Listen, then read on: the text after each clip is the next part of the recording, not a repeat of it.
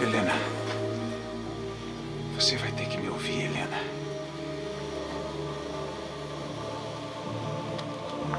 Eu te adoro. Me ouça.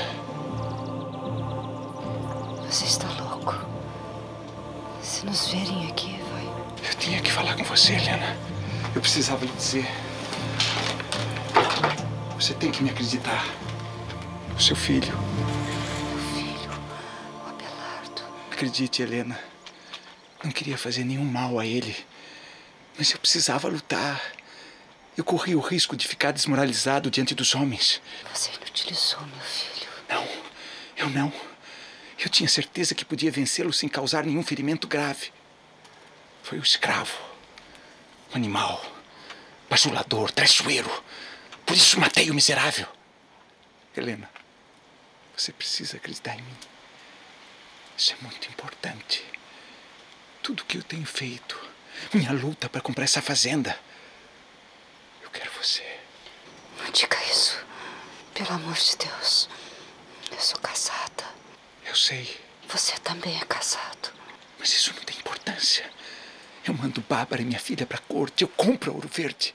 Mas não é a fazenda que eu quero. Não diga isso.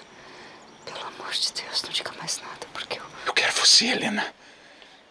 Você precisa me ajudar. Eu. Ajudar você. Faça seu marido me vender. Convença-o a me vender a fazenda e a ir embora. Então ficaremos nós dois sozinhos,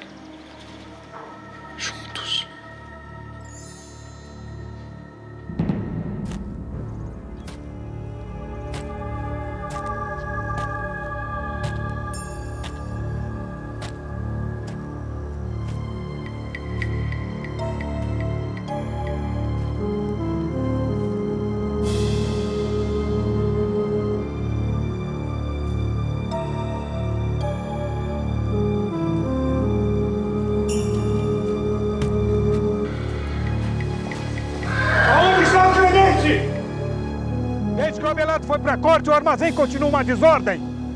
Menina! Diga ao Clemente para me procurar na biblioteca. Vá! Vocês ao trabalho!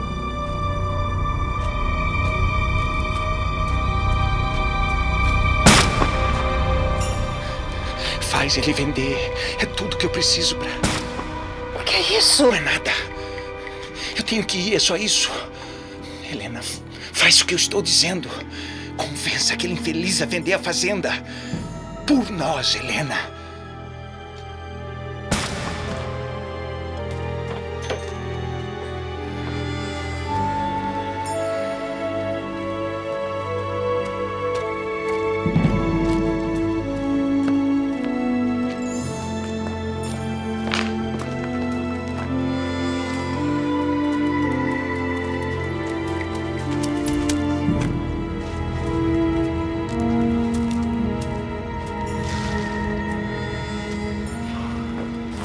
Um nego, senhor. Acho que era do Ventura, vou atrás dele.